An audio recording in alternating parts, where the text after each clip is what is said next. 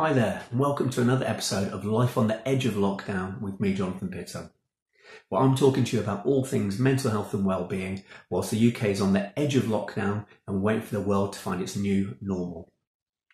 theme of today's episode is around how to wake up feeling energized, how to wake up feeling really good. Now, with all the stuff that's going on in the world at the moment, it's very easy at night time before we go to sleep to let the mind take a bit of a walk down negativity lane.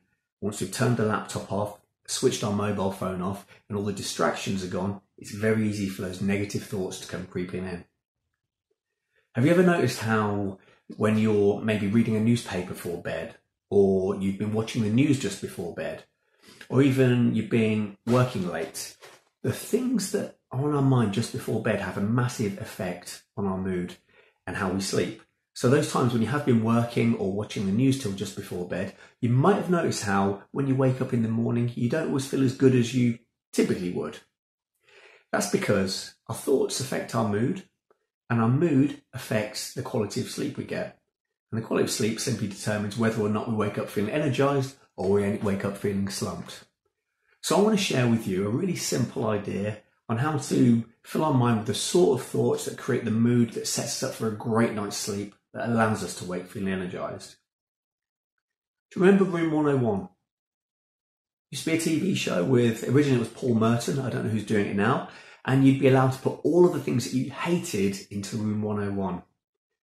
Room 101 originally comes from George Orwell's 1984, and in it contains your darkest fears, all of the things you're terrified of, things that you hate. I want to advocate creating Room 102. Room 102 lives next door, right next door to Room 101, and it contains all the things that we like and all the things that make us feel really good.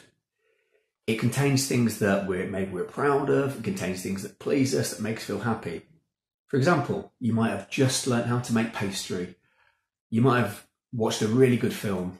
You might have just finished a really good novel anything at all that's recently happened to you or you've been thinking about that makes you feel good. I want you to put that in room 102, okay?